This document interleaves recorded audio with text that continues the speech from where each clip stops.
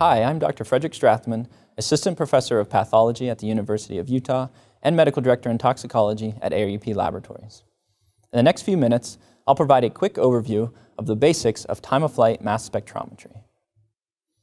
Like most mass spectrometry techniques, a chromatographic separation is the first step in the analysis and provides the first layer of compound identification, a retention time. For liquid chromatography, each compound in the sample distributes between the continuously flowing liquid mobile phase and the stationary phase. Compounds that tend to stay associated with the mobile phase will quickly pass through the column. In contrast, compounds that tend to associate with the stationary phase will pass more slowly through the column. Each compound will have a characteristic time it takes for that compound to pass through the column, and we refer to this as the retention time. So as compounds pass through the, and exit the column, they need to be detected or measured in some way.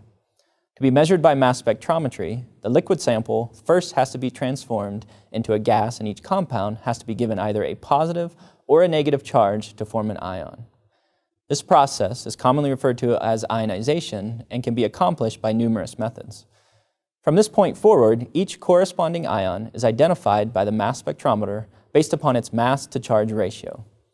For small compounds like drugs, only a single charge is typically present, so the mass to charge ratio of the corresponding ion will be the mass divided by 1 or equal to its mass. At this point, the portion of the sample coming from the column has been turned into gas phase ions and is introduced into the mass spectrometer to be further separated before arriving at the detector. The details of how this separation is done are what make each mass spectrometry technique different. For time-of-flight mass spectrometry, the overall idea is relatively simple. Once inside the instrument, the charged ions are pushed towards the detector at the same time using the same voltage. An ion that has a small mass to charge ratio will travel quicker than an ion that has a large mass to charge ratio. The time that it takes a given ion to travel or fly to the detector is related to its mass and forms the basis for time-of-flight mass spectrometry. There are several key features of time-of-flight mass spectrometry that we use to aid in identification of individual compounds present in a given sample. The first is the accurate mass of the ionized compound being measured.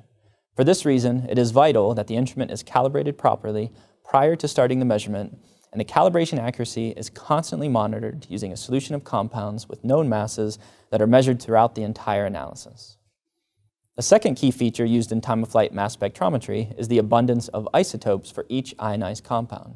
For example, carbon can be found in nature with either a mass of 12 or a mass of approximately 13. The mass spectrometer will identify the same carbon-containing ionized compounds, such as morphine, at several mass-to-charge ratios based upon how many carbon-12 or carbon-13 atoms are present. Because the relative abundances of carbon-12 and carbon-13 are consistent and well characterized, we can use this to compare the expected relative abundances of an ionized compound found at multiple mass-to-charge ratios to what we measure with the instrument. In this figure, the red boxes are the expected abundances and the black peaks are the abundances that we measured in this sample. It's also important to realize that any atom present in the compound being measured that has naturally occurring isotopes will affect the mass-to-charge ratios and their relative abundances. A closely related concept that is another key feature used in time-of-flight mass spectrometry is referred to as isotope spacing. Similar to how the relative isotope abundances of an ionized compound found at multiple mass-to-charge ratios can be used for identification, the differences in the mass-to-charge ratio, or the spacing between isotopes, is also well characterized and consistent.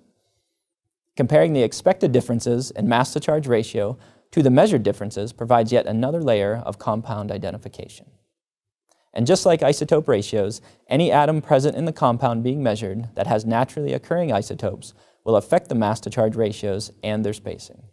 Not surprisingly, the details of time-of-flight mass spectrometry are considerably more complicated than presented here. But hopefully this provides you with enough information to appreciate the key characteristics of time-of-flight mass spectrometry and to understand the various concepts used for compound identification.